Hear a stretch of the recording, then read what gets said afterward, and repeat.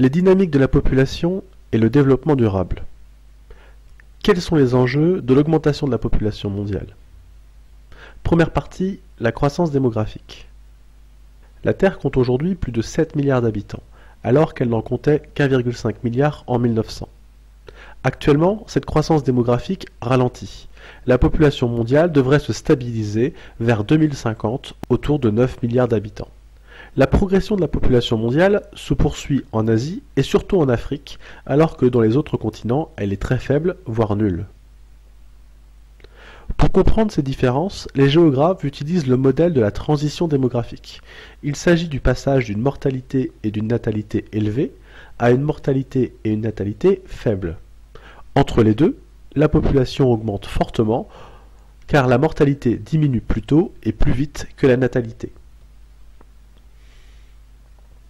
Certains pays ont déjà achevé leur transition démographique, principalement les pays riches, et voient donc leur population stagner, voire diminuer, tandis que d'autres sont encore en phase intermédiaire et connaissent une forte croissance démographique.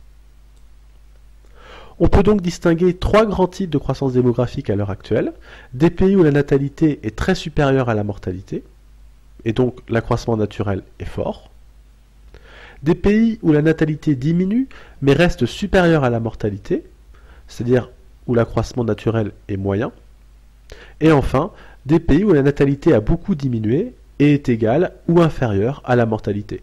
Dans ce cas-là, l'accroissement naturel est faible, voire négatif. Deuxième partie. Quels enjeux pour le développement durable?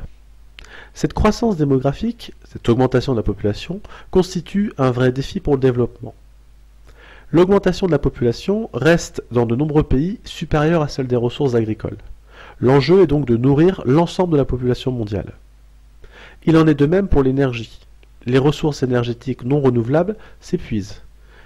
80% des ressources naturelles de la planète sont consommées par 20% de la population mondiale. L'augmentation de la population augmente les besoins en matière d'emploi et de logement pour permettre à chacun de travailler et de se loger. Cela augmente également les besoins en matière d'éducation et de santé, c'est-à-dire de construction d'écoles et d'hôpitaux. Troisième partie, des solutions durables pour répondre aux besoins d'une population croissante. Pour faire face à ce défi, diverses stratégies sont mises en place. Par exemple, en Chine. Avec 1,3 milliard d'habitants, la Chine est l'État le plus peuplé du monde. Ce pays a cependant réussi à maîtriser sa croissance démographique et a décidé de mener une politique de développement économique basée sur l'industrie. Mais les inégalités persistent et la pollution est devenue un problème majeur. L'Inde est le deuxième État le plus peuplé du monde avec 1,1 milliard d'habitants. La croissance démographique continue et la population du pays pourrait dépasser celle de la Chine. Pour nourrir sa population, l'Inde s'est lancée dans ce qu'on appelle la révolution verte afin d'augmenter la production agricole, notamment à travers l'utilisation d'engrais, ce qui pose des problèmes pour l'environnement. Certains États cherchent à développer les espaces sous-peuplés.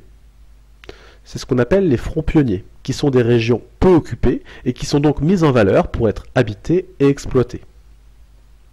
Sur cette carte, nous voyons que ces fronts pionniers peuvent être agricoles, comme c'est le cas en Amazonie au Brésil, ou bien pour exploiter des hydrocarbures, le pétrole par exemple, et des minerais comme en Sibérie ou en Alaska. Un front pionnier se construit par étapes, comme on peut le voir à travers ce paysage. Les hommes défrichent, c'est-à-dire qu'ils débroussaillent pour rendre cultivable le terrain, ici la forêt amazonienne. Ils construisent des pistes reliées à un axe majeur de pénétration, ici la route transamazonienne. Ils créent des points de peuplement, une exploitation agricole, puis éventuellement un village, voire des villes. Et des activités se développent, ici l'agriculture. Ces fronts pionniers ont des conséquences en matière de développement durable. Ils entraînent la déforestation, c'est-à-dire la diminution des surfaces recouvertes de forêts. Ce sont également des problèmes de pollution, mais aussi des problèmes sociaux avec des tensions entre notamment les colons, qui sont les nouveaux habitants, et les indigènes qui vivaient sur ces territoires avant l'ouverture des fronts pionniers.